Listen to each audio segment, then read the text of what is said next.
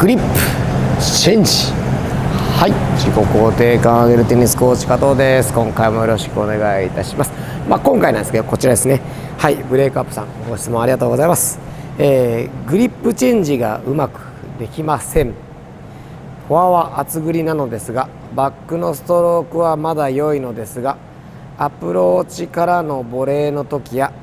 ゲームレッスンサークルでのゲーム時にそのままの時があります。レッスン時はボレーはボレーストロークはストロークの練習と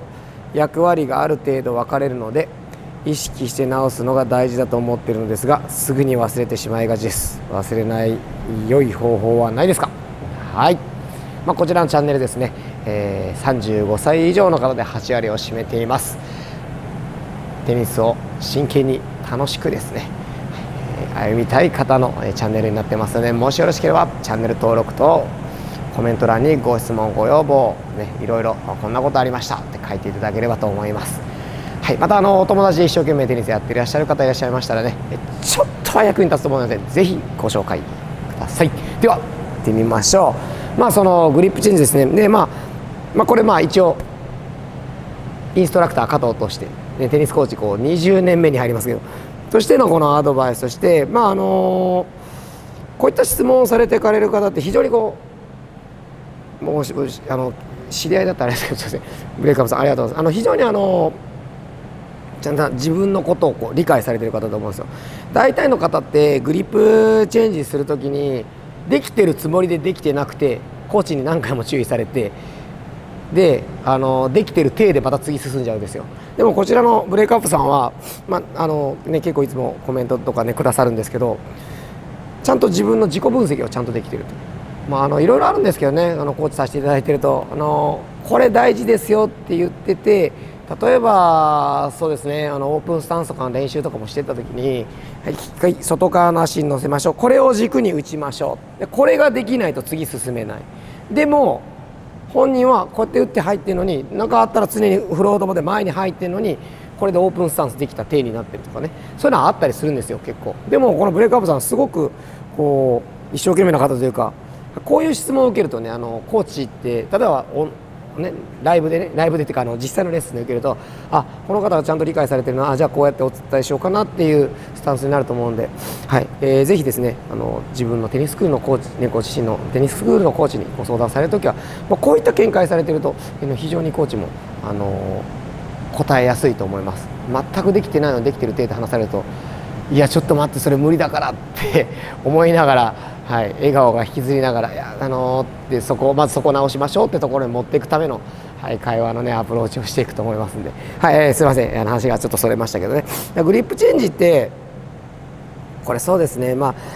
あとはそのアプローチからボレーとかねゲームのレッスンがボレーとストロークを分けてるっていうのでカリキュラム的には初中級ぐらいのカリキュラムなのかなとは思うんですけどただこのくらいゲームされてるんだったら全体の、ね、流れとしてアプローチからボレーとか、ね、ボレーを連続でポンポンポンとかいろんな展開すると思うんですがまあまあそれはまた後日ということで。えまずあのグリップチェンジっての一番大事なのはこれ多くの人に言えると思います。そのうまくいかない方。まず、まあ、僕左利きな左持ってます皆さん右ですね。あの利き手と反対の手で持つこと。これ一番大事です。そうすると自然とこの形になります。はい。こうボールもこう打っていく時にまずこっちで持つ癖。だから両手の方は常に両手バックね。両手全部両手済ます方はあのバックがね。こう片手のボレーとかならない方はもうここを持っててもいいのでとにかくこっち側で持つ癖自分の利き手じゃない方。で若干こう倒れますよね。自分の利き手と反対じゃない方。バック側にこう倒れると思います。この状態で常にこっちの手離していく必要があります。で、まあ、離してもこう離す必要はなくて持ってて添えるだけですよね。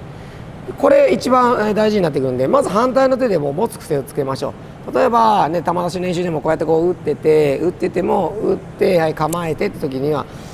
こっちの手はもう力入らないです。打つ時だけにはい利き手を使っていくイメージですね。バック側に来た時はもうそのままこう入ってきますし。で、えー、グリップチェンジってお話だったんですけど、まあ、バック、まあ、バックある程度できるとおっしゃったんですけど、まあ、これ基本なんですけど皆さんご存知ですか？こうバックにこれね、えー、テニスのまあ多いレッスンだと、ね、でできないんですけど僕結構5人6人まではレッスンメニューとして成立させるんですけどフォアバックフォアバック交互に4球打つんですよ。でこれって多分普通にテニスされてる方は平気なんですけどスクールレッスンしかしてない方って実は片サイドダブルスがメインじゃないですか。だから片サイドしか打ってないから意外とできないんですよ。だからフォア打ってバックってなった時にこうなんだろうちゃんと体が入らな、い、なので、まあ、フォアバックフォアバックの球出しするんですけどこの時に反対の手例えばこう構えててこっちでフォア打ちました。打ったらこっちに移動する時にこう打つ打つじゃないですか。打って移動する時に反対左手でしっかり入れ肩入れながら入ってきて後ろから前スイングしていく。片手バックの方も左で引きながら肩入れて持っていく。常に左手が大事になってきます。ここ少し、えー、意識してください。でアプローチとかボレーなんですけど、まあ、たまにジュニアの子もいますけどね。こうボールってこういう感じ。まあ、多分おっしゃってるブレイクアップさんはそうじゃなくて多分ここで持って構えてるんだけどこっちの手に力が残ってる。っていうことだと思います。だからアプローチからボレーに出ていく時ってスイングするじゃないですか。スイングしてし終わったらこっちの手で構える癖をつけてあげる前のボールをヘッドを回してこっちへ持っていけば割と打ちやすく、えなります。でもう一個方法があってこっちで持とうとするとどうしてもこっちの手が離れてしまう。その時はボール打っていく時って肩入れる癖つけてあげるんですよ。例えばストロークでもそうですしボレーでもそうなんですけどアプローチからボレーってあの何が難しいかってこう回転運動でスイングして前出てきてボレー打とうとした時に同じようにこう回っちゃう。なのではい。アプローチからボレーに入る時は特にそうですけどもしっかりと肩を入れてあげる。で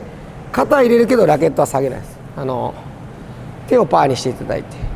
これをそのままこっちに行くと。絶対手をパーにした状態こっちに行くとこれ以上下がらないので。でここで肩入れてあげて前に入っていくと割とグリップチェンジというかあの手で何とかしようとすると入りにくくなってしまうので肩入れようとすると自然と手手の力がリラックスできます。そうすると打つ時だけ持ってきますからこうアプローチ打って前来てセッターバック来た。まずこうラケット引こうとじゃなくて肩入れようとするとこのまま綺麗に入っていきますのでまあちょっと肩を入れるといった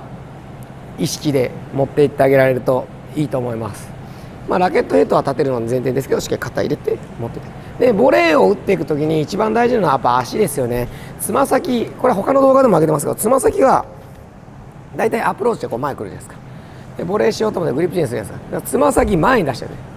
つま先前に出してこのまま打とうとするんでうまくいかない。だからもしかするとグリップチェンジがうまくいってないんじゃなくいってないよりもつま先が前向いちゃってることで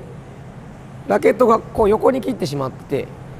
実はグリップチェンジできてないんじゃないかなという錯覚に陥ってるのかもしれないのでこの点もちょっとチェックしていただければと思います。あのー、おそらくストロークでできてるってことはボレーの時って慌てて正面向いてしまってることとかもあるかもしれないのでそうですね、あのー、この点少し、え注意していただくと良いかなと思います。あとはスクールのレッスンでもし中級以上のクラスに在籍されているのであればどこのスクールさんも、まあ、僕大手とかも、ね、あのお世話になったことありますし、まあ、中堅どころの有名なところもありますしいろんなところ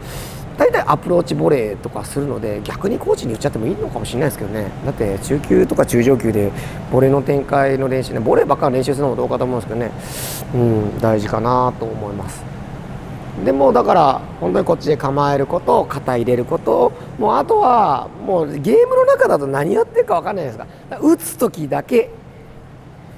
その手を使いましょう。バックとか入って時もバックだと左手だから打つ時はこうしっかりと使う。片手の人もこっちは無視。打つ時だけギュッと握っていく、ね、ストロークもサーブも打つ時だけこう使う方のショットの手に力を入れるって考えるのも一つの手だと思います。あのこの点今日話したこの3つのポイントさえ守れてれば意外とできると思うので、まあ、んまりね考えすぎない、はい、まず1つ目は、ね、反対側の手でしっかりこう振り終わったら構える癖を持つ。で肩を入れる、ね、肩を入れようとすると自然と面が、えー、できますので、でもそれができるようになってきた。ら打つ時だけ。力を入れるって考えると自然とグリップチェンジできます。あの人間の意識って入れを入れようと思っちゃうと逆に握っちゃうんですよね。グリップチェンジグリップチェンジでそしたらもう力入らなくて、ね、一回力入れたら一回抜かないとダメなんで。ボール打とうと思った時には力が抜けてしまう場合がありますのでグリップチェンジですね。もしよろしければこの3つのパターン試していただけると少しは良くなると思いますんでよろしければご参考ください。今日はこれで終わりたいと思います。どうもありがとうございました。